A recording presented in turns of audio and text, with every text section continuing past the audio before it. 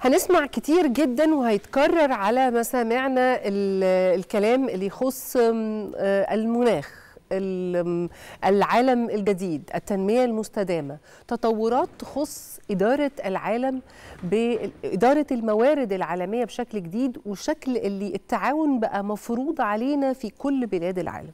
وعلى خلفية الحتمية الجديدة لأنه درجة حرارة الجو تغيرت لأنه مصادر الطاقة كمان في خلال ال 30 أو 40 سنة اللي جايين كمان هتتغير و- ولأنه كل ده مرتبط بخطط التنمية المستدامة. مش بس اللي إحنا هنا في مصر بنتكلم عنها كتير دايما نتكلم عن خطة 2030 و2050 مثلا لكن العالم كله محتاج إنه يوحد الجهود.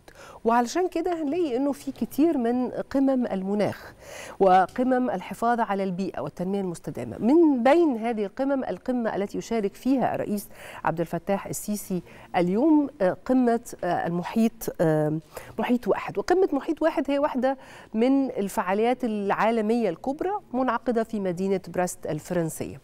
الهدف من القمة دي هو إعادة صياغة التزامات جديدة ما بين الدول المشاركة التزامات جديدة لما يسميه العالم الاقتصاد الأزرق. الاقتصاد الأزرق ببساطة الحفاظ على البحار والمحيطات والموارد بتاعتها. آه، دراسة كل هذه التفاصيل الخاصة بإدارة الموارد المائية وكمان إزاي الدول آه، تكون فاعلة في التأثير.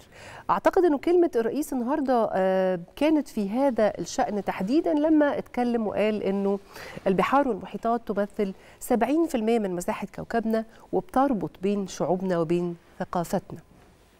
اتكلم سياده الرئيس عن إنه بتربط البحار والمحيطات مش بس هي مصدر الغذاء ال- البحري لكنها أيضا جزء من حركة التجارة والملاحة الدولية وأيضا هي محفز حقيقي للنشاط الاقتصادي والازدهار مجتمعات ودول بأسرها.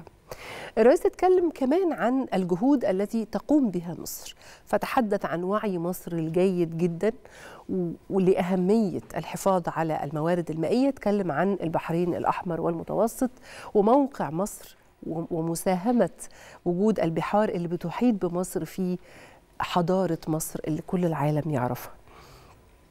الرئيس كمان اتكلم عن قناة السويس واللي ساهمت وما زالت بتساهم في دفع حركة التجارة الدولية بوصفها أحد أهم الممرات الملاحية في العالم.